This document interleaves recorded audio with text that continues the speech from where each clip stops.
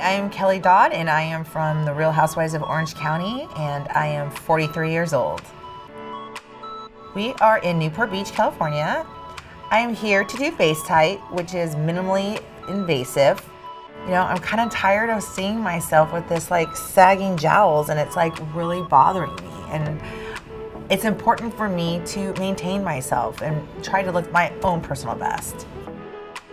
Are you excited? I'm excited. Okay, I'm really let's, excited. Let's go over what we're doing and why. Okay, we're going to use FaceTite today. The FaceTite is a tightener of the tissue. Where the FaceTite fits in for you is it's going to give you nice tightening of the jowl area and the neck area. You're not a candidate to do anything more aggressive, but you, like most patients, want real results. Right. This is going to give us predictable, real tightening. The most tightening we can get without doing surgery, okay?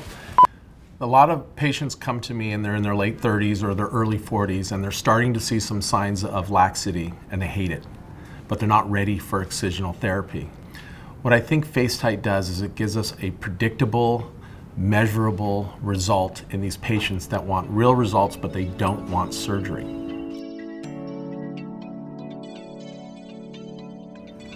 That bell is telling us that it likes the temperature that your tissue's at. A safety feature. so you don't get burned. Correct. So I think we're good. Okay, that's it. We are done. No way. No way. On energy. Isn't that cool? That is really cool. You look great. You're gonna have um, a little bit of swelling for a couple of days. You, uh, Ice it. I would not ice it. Um, you, uh, we're going to put like a salve on you, and you'll do a gentle wash and put the salve on, and um, that's pretty much it. It's very easy. I, I don't think you'll have hardly any bruising, and um, you know I really think for sure by next Monday you're going to be fine. But I think you're going to be good for the weekend.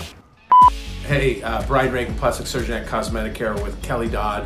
One week after FaceTite, the bottom line are results with no downtime. These are her pictures. One week. One week. Notice the tightening here. This is her after. Notice the tightening of the lower jaw and neck. That's pretty impressive. In one week. I, I can feel it. It feels tight and right. After the procedure, I went home. I have a really high tolerance for pain, so I didn't feel the need to take any over the counter medication.